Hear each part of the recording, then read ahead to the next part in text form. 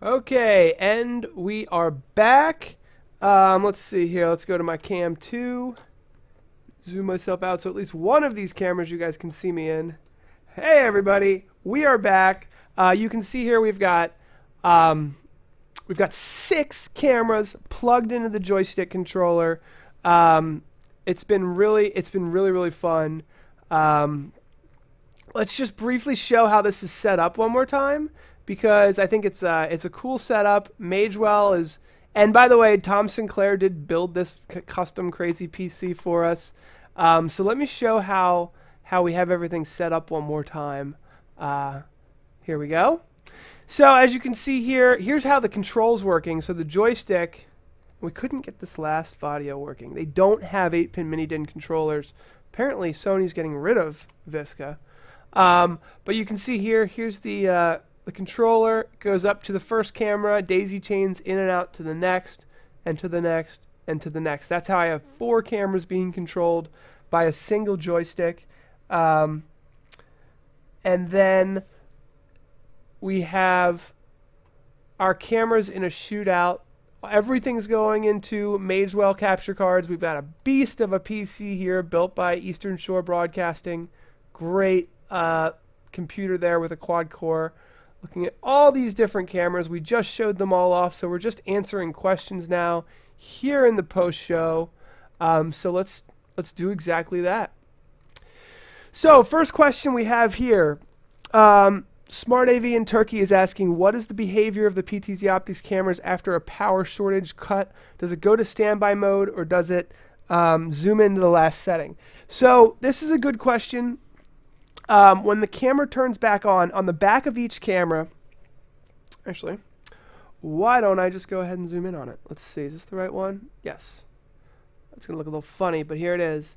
Um, do you see the on-off switch right here? On, off, on, off. If it's in the on setting and it goes, it goes this is the on off switch, right? So if there's no power and the on switch is on, nothing's going to happen, obviously. Power goes off, power comes back on, on switch is on, camera turns on, it does a little boot up dance. And then once the boot up dance is over, um, it will basically um, go to what it considers its home preset. And the home preset uh, is the same as this home button right here at the center of the remote. And there is a way to to have that, but I'm not sure. Uh, I forget what it is. There's a there's a special preset. It might be preset 99. Uh, you'd have to ask my engineers, uh, it, but there is a preset.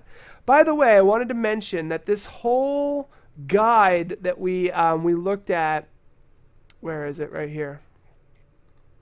This whole guide here on camera aperture and shutter speed. In fact, I think it's here. Um, there's a really nice guide on uh, the ideal camera settings for shooting live video. I just really quickly, it's there's a free download below. You guys can download it at. Um, but the reason why it's so important is because we go over camera settings and aperture, shutter speed, color balance, um, contrast, noise reduction, all of these different things, and really go into the details. And um, the reason why we spend so much time on this is because when you're doing live video, right? When you're doing video that's completely live, you you don't have time to do post production. It needs to be right the first time. So, in that in, you know in that vein, basically, uh, it has to be done that way.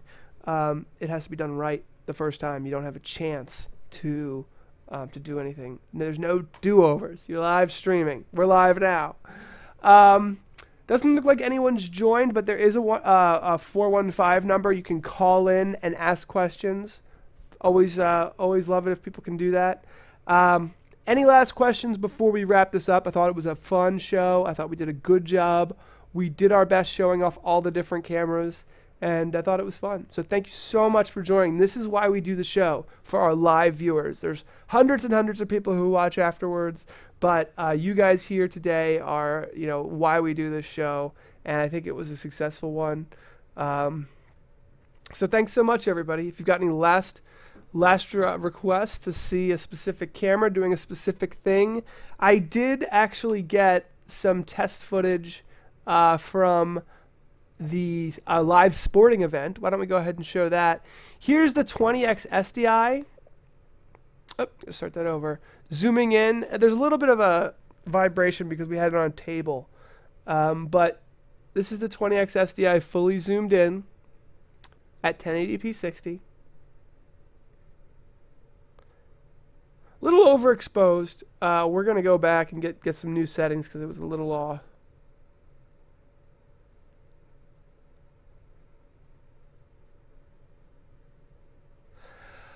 The HuddleCam Air, that's a good question. Um, the HuddleCam Air is going to be um, revived with a Gen 2, but I think it's going to be sometime in 2017. Uh, it's going to be a completely different camera. We're, we're, we're shooting for a $1,000 price point, which is going to be really nice. So it's going to be different. It's going to be a lot different. Here's the robo shot in the. Um, the content in the 24 hour live stream is updated at the end of each week.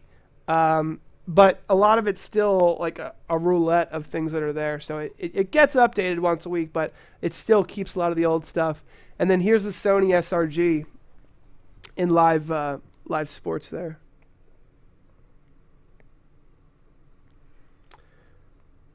So yeah, we, we do update that footage in the um, in the HuddleCam Air with uh, for the 24-hour live stream, but a lot of it's it's all recycled content, obviously. It's not fully live. So there's the cameras we reviewed. I think it was a good a good review. I got to go return all these cameras now. but I think we got we got some really good footage. Maybe I'll keep them around for one more week. I, I, I miss some footage. When you go out and you do a live a live shoot, uh, and you miss something that was important that you need, uh, you go back for a pop up shoot is what it's called in in uh, filmmaking.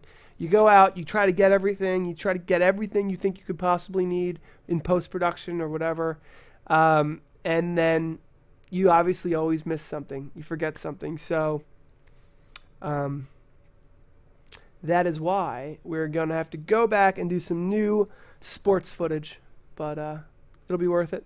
We're going to get some. Basically, one of our computers uh, wasn't powerful enough to do 1080p 60 recording. So, like, half of the footage we got from the sporting event uh, was kind of choppy and the frame rate wasn't smooth. So, that didn't, didn't bode well. And then we made the mistake of not fully tuning everything. And, uh, you know, you really have to look at these cameras on a nice, high contrast field monitor, honestly, um, to be able to do uh, high quality recordings. And unfortunately, we didn't do that. We learned something every time, so we're going to do that next. Anyway, thank you so much for watching, everybody. That's all the time we have today. It seems like we answered all the questions. I'm really happy to have you all. Thank you so much for being here. I'm going to roll the credits, and thank you so much again. This has been a pleasure. You guys are the best.